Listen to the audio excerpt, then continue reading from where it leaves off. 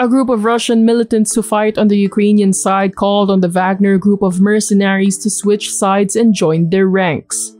This to avenge the deaths of Wagner founder Yevgeny Prigozhin and their commander Dmitry Utkin.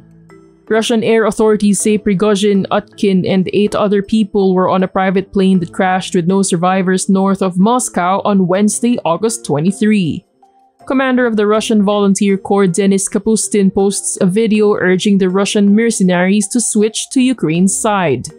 After 24 hours of silence, Russian President Vladimir Putin pays, quote, sincere condolences to the families and praises Prigozhin as a talented businessman. Contrary to reports, the US Department of Defense says there is no information to suggest that a surface to air missile took down the plane.